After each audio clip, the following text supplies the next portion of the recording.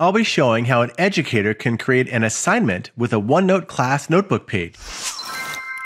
Now I'm here in Microsoft Teams, and I'm in my class Philosophy 101, and I'm going to go to the top here and click Assignments. I'm going to click the Create button and choose Assignment.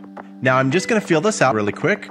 Now, next is adding the resource. This is the important part. Now you see the list of OneDrive files. We're going to click on Class Notebook. Now you need to make sure that you've already set up your class notebook, but I'm going to choose my content library. So I'm going to go into my homework essays section in the content library, and I've already prepared my Socrates page that I'm going to distribute to everyone else. I'll click this, and I'll choose attach.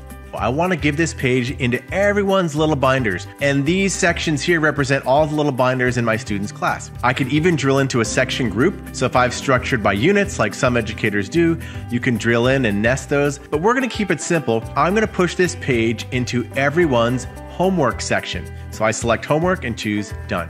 You can see now there's a OneNote page attached. The dot dot dot menu, I could remove that. I could open it in OneNote Online if I want to see what it looks like. We'll make this worth 20 points. I could add a rubric, which is really powerful. So I could add a rubric if I wanted to. I won't add one today. I'm going to assign it to my Philosophy 101 class. If I wanted to give it to multiple classes, I could choose multiples here, but we'll keep it simple with just one. I could also differentiate and give it just to a couple of students, but we'll leave it for all students right now. And I'm going to set the due date for Monday. Now, assignment will post immediately with late turn ins allowed. If I click edit and I'm to say, you know what? After this close date, no one else can turn things in. I'm to click done. So that's a hard date. What happens in OneNote is if it goes past 5 o'clock on Monday, September 7th, that student will no longer be able to edit that page in OneNote. So our assignment is ready to go. I'm going to click assign. Now that goes out to everyone in the class.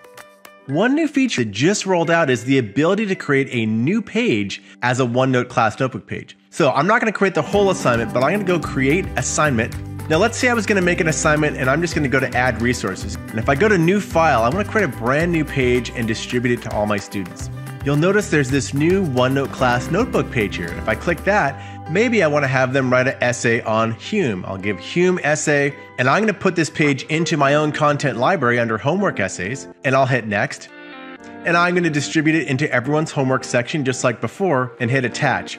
What this does is create a blank page in my content library that will then get distributed to students. And I can go and edit that page. So I'll click the dot dot dot and say open in OneNote Online. You can see I created a blank page called Hume Essay. I'm just going to paste my instructions really quick. Here are my instructions. Got a nice picture of David Hume. And I'm going to go back to my philosophy class. I'll just discard this one because we're not going to create another assignment. I've pushed out my Socrates essay. Now let's sign in as a student and fill that out. Now I'm signed in to the class as Alex, and I see there's a notification on moral philosophy. Oh, there's my assignment, that Socrates essay. So I'm to click View Assignment. Here's my assignment. So I'm to open up that OneNote page. I'm just to finish this really fast. And I'm going to go in the upper right and click Turn In. Note, I don't have to add any work. It's already in my OneNote. I just click Turn In. We're going to flip back to Kara. Now I'm signed back in as Kara, the educator, and I'm going to go to Assignments and I'm going to give feedback on the turned in OneNote page. So I'll go down to Socrates essay. It looks like one out of 25 turned it in. That's probably my star student, Alex. So I'm going to scroll down and look at that. Alex has turned it in. Now, as an educator, I can scroll down. I'm using the speed grader. Now I can draw. I want to circle some stuff here.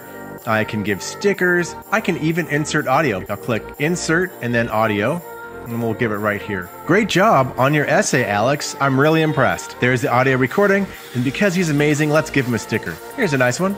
So I gave Alex a sticker. I'll give some feedback. Great job. And he gets 20 out of 20 points. If I had a rubric, I could attach the rubric and do that right in here against that OneNote page, and I'll click return. Okay, we're all set. Now you know how assignments in OneNote and Teams work all together.